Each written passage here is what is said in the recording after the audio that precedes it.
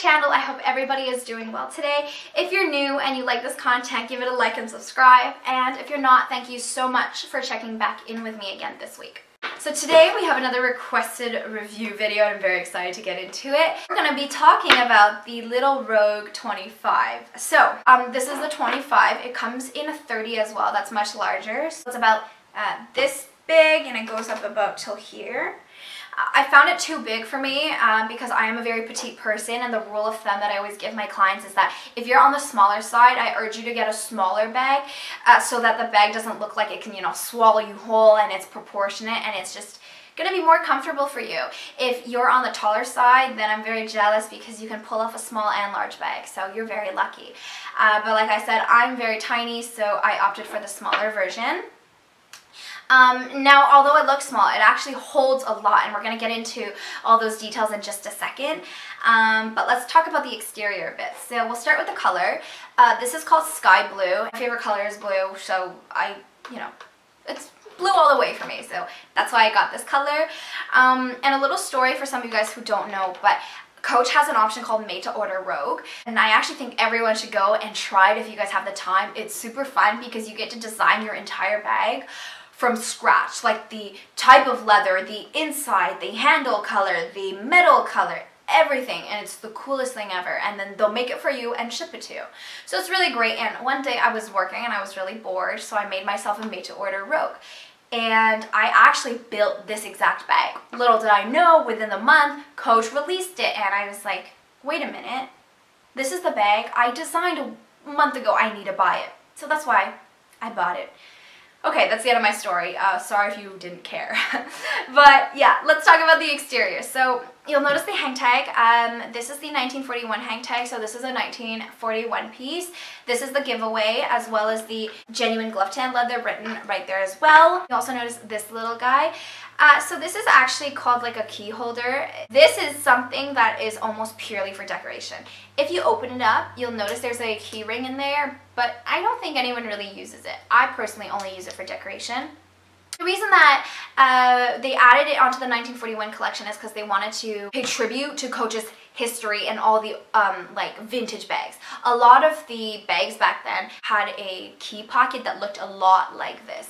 And although we don't need these for keychains anymore, Coach thought it would be really kind of intricate if we added it. So I absolutely love it. I know some people don't like all this stuff hanging on their bag so that you can opt to remove it, but I thought that this was a really nice way to pay kind of tribute to the like bag culture in the 1950s, 60s. So I kept it. Also, you'll notice that there are little feet at the bottom. That's what we call these little stands right here. Uh, and they're life-changing, okay? I think this is one of the only bags that I own with feet. Um, and the reason why I love them so much is because it protects the bottom of your bag a lot of women come in and they have like worn in um, spots like right here, right here. It's all scratched on the bottom. But with feet, that's never going to happen because all the pressure is right here. Okay, so if you put this down, you go like this, you're not rubbing the leather, right? So that's why I absolutely love the feet. It's a great way to protect the bottom and I think every bag needs it if it looks cute, of course. so that's pretty much the exterior. Let's talk a little bit about the handles. Uh, so what makes this bag really special, in fact, I don't think a lot of other bags do this, but it actually comes with three different ways to wear this bag. So I'll show you the first way, right here. Two little handles. I love carrying my bags like this, or just on your arm like this. There's option one. Here is option two. So it comes with these two straps as well. Fantastic. You can wear it on your shoulder like this. I also love wearing it like this. Wait for it. This is the cool part. You can also choose to unhook, unhook, hook together, and now you have a crossbody strap. I virtually never wear it like this because I don't really like to wear crossbodies, um, but this is such a good option for people who like versatility and who like to, you know, kind of switch up their look all the time. Um, I don't know a lot of bags who give you this option of having three different ways to wear it, so I thought this was really spectacular and is a great selling point for this bag. Next, since I'm talking about straps, I do want to mention, because somebody commented on my, uh, like, how to properly store your bags video, um, how to put the handles. So if you have this, I suggest you actually hold it up. You'll notice that it turns fairly easily. So you just want to turn it, put it down, and insert it into the side pockets. Okay? Same with this side. You're to see it turns one way, flip down, and insert into the side. As you can see, they sit very nicely on both sides, right there. And then for these two top handles, you just and that's it. They cross and they sit very nicely in the bag. Now you can put this in a silk bag or like me, I just leave it out uh, away from the sun. Okay, if you haven't watched my how-to video, please watch it. It's very important to keep your bags gorgeous. And you can just take it and insert it onto the shelf like this. So this will protect your handles. Alright, so next let's talk a bit about the inside. So as I just shown you, this is what the inside looks like. There's two side pockets that are on the slimmer side and then one in the po uh, one pocket in the middle that's much larger and this is like very much the body of the bag.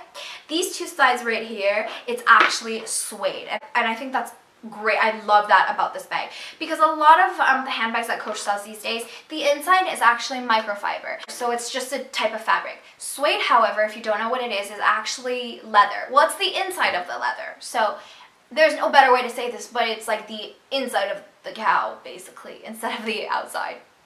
And you can tell by feeling it, it's a little more coarse than microfiber, but there's just something so fancy about suede that I just really love. We'll open up the middle, show you guys just what it looks like. So here you go. This is the largest, largest portion. Uh, everything in here, that's just a fabric, okay? So there's no suede in here. As you can see, there's a story patch, and it has a zipper right here, so for anything uh, important, like maybe receipts you want to keep stored away. And on this side, there's a pocket with a button that you can open it. it's a tight button. Oh, oh my gosh, this is embarrassing. There we go that you can open and close. Uh, normally, if I'm using the bag, I actually leave this portion open and I like to put my phone here. It's kind of like its own little pocket. If you don't need it, of course, you can just button it close. Finally, um, a few last words that I want to mention is that I just, I honestly love this bag. Although they don't produce it um, kind of at all anymore. You'll notice that Coach only sells like a few models left. They used to have so many colors. If you want your own, if you really like mine, you can go and make it yourself on the uh, made to order. Uh, if you guys want, I can actually link the URL down below just for you to check it out. It is super cool. Even if you don't have any intention on buying it, I do suggest you to try it um, because it's really fun and I don't know many stores that let you completely customize your own bag from scratch. Like I think that's phenomenal and it's completely personalized. You have over a million choices. So the chances of you seeing someone on the street who has the exact same rogue as you is slim to none. There's nothing negative. I have absolutely nothing negative to say about this bag. I was a working adult, which I am not. I'm a student still in university. But if I was a working adult and I had a basic 9 to 5, I would I would 100% wear this with me to work every single day because it's it's small enough for it still to be cute and it's large enough for me to fit everything that I need. When I did my internship last summer, this was the bag that I carried around with me everywhere. It's really large enough just to put everything in. Um, however, as I mentioned, they do have a larger size if you want a larger bag.